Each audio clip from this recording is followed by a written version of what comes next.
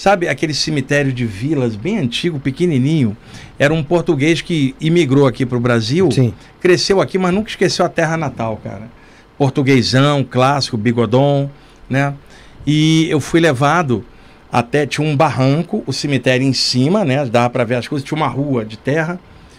E eu acordo ali com um grupo de ciganas desencarnadas, ciganas portuguesas, porque tem lá, tem na Espanha também, desencarnadas, vestidas igual ciganas, normal, mulheres jovens, maduras e, e, e idosas também. Tinha umas 20 entidades. E elas dançavam, geravam energia muito alegre. Aí elas falaram isso para mim: Nós trouxemos você, que nós gostaríamos que você conversasse com um homem que desencarnou no Brasil, mas o pensamento dele está aqui porque os familiares dele, os ancestrais, estão aqui. E ele sempre quis voltar para Portugal, nunca voltou. E nós trouxemos você porque, como ele morava no Brasil e você é brasileira, a gente trouxe para fazer um equilíbrio.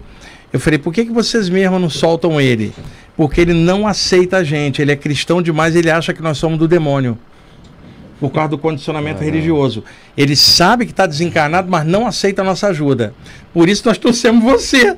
Porque você é mente aberta, não segue nada. Sobe lá e conversa com ele, vê se você convence ele a passar, porque nós não temos mais o que fazer. Ele não aceita ajuda eu flutuei por cima. Quando eu entro assim no cemitério, tem um português vestido de terno antigo, segurando uma maleta pronto para viagem, cara. Assim, quando ele me viu, ele fez assim para trás e falou assim: Você não tá com aquelas demônias, não, né? Eu falei: Não, eu sou. Você é do Brasil? Sou. Ah, ainda bem. Eu falei: Cheguei, vamos conversar, cara. Eu vim aqui para conversar com você. E tudo era mental. Você sabe que você desencarnou, né? Não tenho dúvida disso. Tá, e por que, que você não vai embora, cara? Vai abrir uma luz, passa. Essa luz já abriu, mas eu não entro. Por que, que você não entra? Porque é Jesus que tem que vir me buscar. Aí tá querendo. Se não for, eu não aceito. Olha, Aí tá foda. Como é que eu ia convencer o cara? Aí, Aí ele falou assim: disfarce ele, ele falou assim: Eu posso como, passar e você pode me ajudar. Eu falei: Como? Fazendo uma prece para mim, um Pai Nosso Ave Maria. Se você fizer a prece, eu aceito.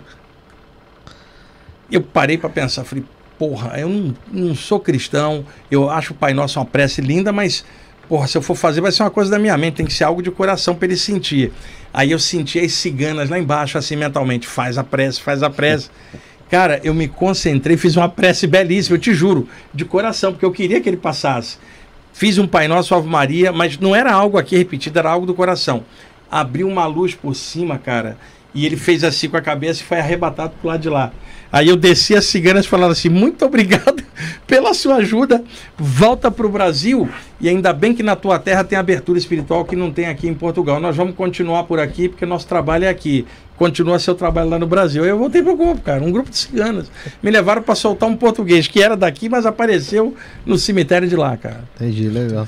Ô, ô Sandro, quem, quem é o, o Exu Tiriri na Umbanda? Ele trabalha na Umbanda? Trabalha. Inclusive, era o meu pai, Carnal, trabalhava com o seu Tiriri, né?